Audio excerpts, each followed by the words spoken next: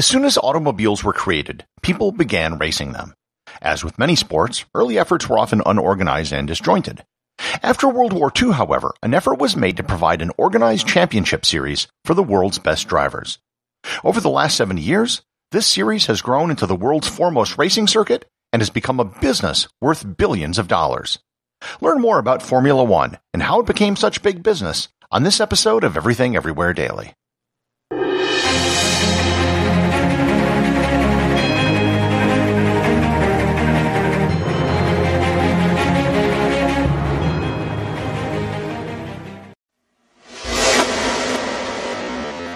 Origin of Formula One, aka F1, dates back to the earliest days of auto racing. While every country with cars had people who started racing them, this story starts with auto racing in France. In the early 20th century, a type of auto racing known as Grand Prix racing developed. Some of the earliest races were sponsored by car manufacturers as a form of marketing for their vehicles. Grand Prix is just the French word for grand prize, and the term is now used generically for many different types of car races. The first races were literal road races where cars and drivers would race from one town to another. These races were more about endurance than they were about speed.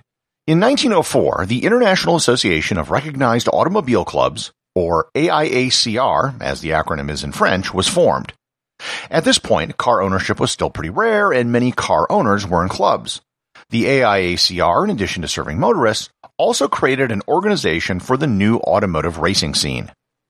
In 1922, the AIACR created the Commission for International Sports, or CIS, again in French, which organized races and set rules for Grand Prix racing.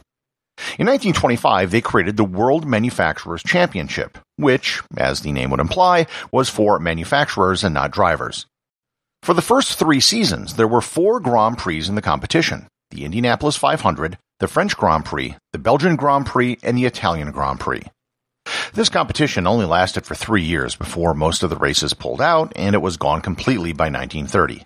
They also had a bizarre scoring system where you got more points for placing lower and the winner had the fewest points. This was eventually replaced with the European Championship, which was conducted in the 1930s up until the outbreak of World War II. For obvious reasons, auto racing was put on hold during the war. But after the war, there was a desire to bring back Grand Prix racing. However, given the state of Grand Prix racing before the war, the desire was also there to reform it and make it better. And it really needed to be made better. First, the AIACR reformed itself and changed its name to the FIA, or the International Automobile Federation. In 1947, for professional racing, they developed a series of rules for different levels of racing, which they called formulas. A formula in this context is referring to the set of rules that the races are conducted under and the specifications that the cars had to meet. When it was first established, the top level was known as both Formula A and Formula 1, and sometimes with the 1 written as a Roman number. Likewise, the second division was known as Formula B or Formula 2, and in 1950 a Formula 3 was also created. All of the formulas involved open wheel, single seat race cars, and that is still the case today. Generally speaking, any open-wheeled single-seat race car is known as a formula car, even if it isn't technically under any of the formula rules. For example, the IndyCar series in the United States isn't party to any of the formula levels, but they're generally classified as formula cars.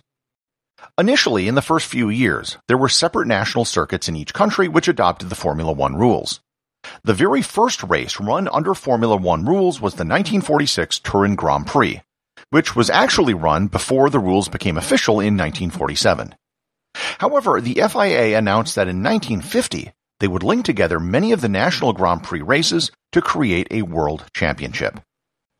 The inaugural 1950 season consisted of seven races in seven countries the British Grand Prix, the Monaco Grand Prix, the Indianapolis 500, the Swiss Grand Prix, the Belgian Grand Prix, the French Grand Prix, and the Italian Grand Prix. The season was dominated by the Italian automaker Alfa Romeo, who won every race save for the Indianapolis 500. The winning driver was the Italian Giuseppe Farina, and in a close second was his teammate, Argentine Juan Manuel Fangio. The 50s were dominated by Italian manufacturers, with Alfa Romeo, Maserati, and Ferrari winning the manufacturer championship the first nine years. By far, the most accomplished driver was Fangio, who won five titles and was runner-up twice. After 1960, the Indianapolis 500 was dropped from the Formula One calendar. It was originally included as far back as 1925 because it was the premier American motorsports race. However, during the first decade of Formula One, it always stood out as an outlier. Indianapolis was on an oval track, whereas all the other races were on road courses. The rules for cars were also a little bit different than standard Formula One rules. There was eventually a return to Formula One to the Indianapolis Motor Speedway, but it wasn't the Indianapolis 500. During this time, there were also Formula One races that were held that were not part of the championship series. This ended in 1983 for budget reasons, as rising costs made it too expensive for teams to race if it wasn't for the championship. The Italian manufacturer domination of Formula One ended in 1958. After that, there began an extended period of dominance of British manufacturers. A host of British auto companies won championships for the next 40 years. These four decades were dominated by the likes of Cooper, British Motor Racing, Brabham, Lotus, McLaren, Williams, Tyrrell, and Benetton, with only an occasional Ferrari interspersed among the British. Commonwealth drivers won every title from 1958 to 1969, including the greats such as Jackie Stewart and Graham Hill. The big change in cars in this period was a change in the location of the engine from the front to behind the driver, but in front of the rear axle. The Cooper team did this in 1958, won the championship, and pretty soon every team had rear mounted engines. In the 1970s, the manufacturers were still British, but the drivers became significantly more international. Great drivers such as Emerson Fittipaldi from Brazil, Niki Lauda of Austria, Alain Prost of France, and Ayrton Senna of Brazil all won multiple driver championships during this period. The 70s also saw Formula One turned into big business. Bernie Ecclestone was appointed as the chief executive of Formula One, and he changed the management of the sport, which dramatically increased revenues, primarily by selling the television rights. And he remained the chief executive until 2017, when he retired at the age of 87. The British manufacturing dominance of F1 ended in 2000. Ferrari, Renault, Mercedes, and Red Bull have all dominated the sport over the last two decades. This period has also seen some of the greatest drivers in the sport's history, including the German driver Michael Schumacher, German Sebastian Vettel, and the British driver Lewis Hamilton.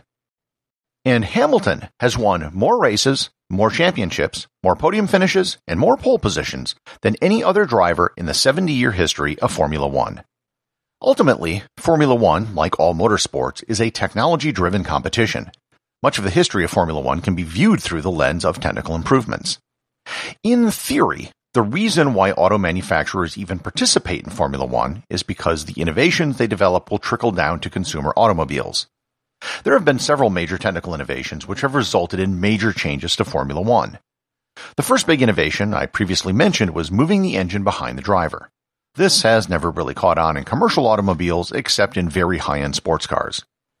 The next big innovation was by Lotus in 1962, the monocoque chassis design. Instead of an internal metallic frame, the body panels effectually bear the stresses of the car, similar to how an airplane is designed. This dramatically reduced the weight of the cars, and this eventually moved to carbon fiber chassis for even greater weight reduction. Another innovation which was eventually banned because it was so powerful were ground effect cars. From 1978 to 1982, it was legal to use ground effect cars. The ground effect is when a low pressure region is created under the body of the car, which applies a downward force on the car, allowing it to go faster. It makes the car kind of like an inverted airplane wing. It was banned in 1983, but it was actually brought back for 2022. There have been many rule changes over the years, like banning ground effect cars, which have been designed to slow cars down because they were simply getting too fast. At one point, Formula One cars had 10 and 12 cylinder engines, but today they're all limited to 1.6 liter V6 engines. The current smaller engines can hmm. actually be turbocharged, which too was actually banned for years and only brought back recently when the engine size was reduced. I could literally spend hours talking about all the technical changes and innovations in Formula One over the years, and quite frankly, there are numerous small changes which occur every year. This is why the most successful teams really are a combination of the driver, the crew, and the manufacturer. It isn't at all uncommon for multiple cars from the same team to all be at or near the top together, because they're using the same technology. Likewise, when there's a major change in the technical rules, it's also common for a new manufacturer to find themselves on the top the next season. Formula One, like all motorsports, is a dangerous activity. In the 72 years since the first Formula One season, there have been 42 Formula One related deaths of drivers, the most famous of which was Ayrton Senna, three time world champion, who died at the 1994 San Marino Grand Prix. One question which often comes up is which is faster or better, Formula One, IndyCar, or NASCAR? And the truth is, it's kind of a silly question.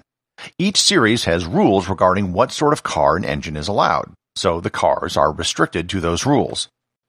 NASCAR vehicles are heavier and don't have open wheels, for example. Indy cars do not allow for as many changes to cars throughout a season, whereas F1 allows for more changes. Formula One is pretty much all street races or road courses. NASCAR is mostly oval tracks, but there are also a few road courses, and a street race is actually planned for 2023. IndyCar is a mix of road courses and ovals. Racing on an oval track means setting up a car totally different than you would for a road course. F1 races have more braking and acceleration than track racing does, but F1 cars almost never have to operate on steeply banked curves like NASCARs do.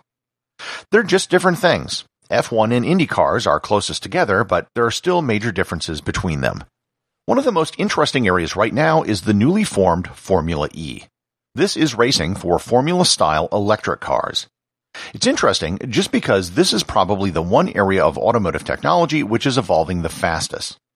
It is the only single seat open wheeled racing to have a world championship right now outside of Formula One. I actually got to attend a Formula E race once in Saudi Arabia, and it was a really different experience. For starters, you don't need ear protection, as the cars hardly make any noise.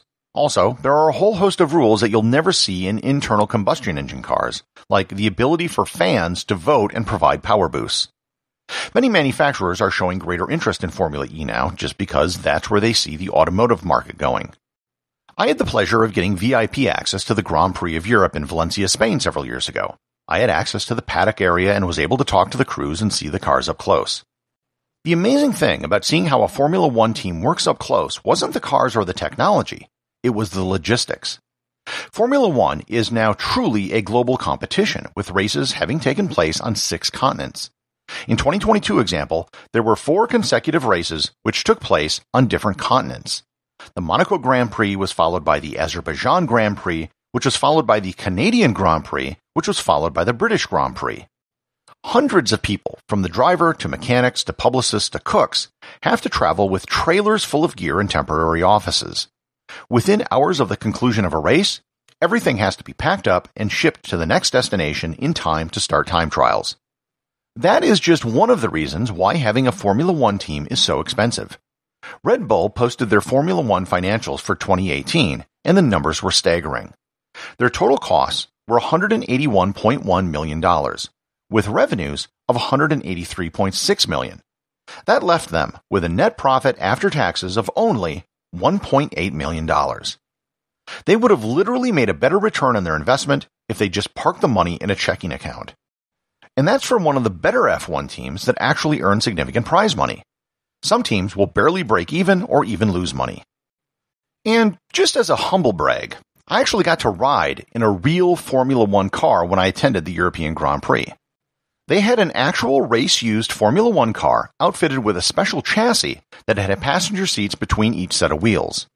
I had to wear the full fire suit and helmet just like a race car driver, and there are actually images of me wearing this online. We hit a top speed of 180 miles per hour on the straightaway, but these cars really aren't about top speeds. You can achieve those same speeds in street legal cars like a high-end BMW or Mercedes. What makes Formula One cars unique are their ability to accelerate. It was almost like getting launched from a cannon. The future of Formula One is anyone's guess. Many high ranking racing personalities predict that Formula One may just have to merge with Formula E at some point in the future. The FIA signed a 25 year license with Formula E that expires in 2039. As the performance of Formula E cars gets better and better, and manufacturer interest shifts more to electric vehicles, despite the protests of die-hard F1 fans, it's something that could happen within the next 20 years. A big step before that may be running Formula One and Formula E events on the same weekend on the same track. Regardless of what the future of Formula One looks like, its 72 year history and the races it holds around the globe have made it the most popular and profitable motorsport series in the world today. Everything Everywhere Daily is an Airwave Media podcast. The executive producer is Darcy Adams. The associate producers are Thor Thomsen and Peter Bennett.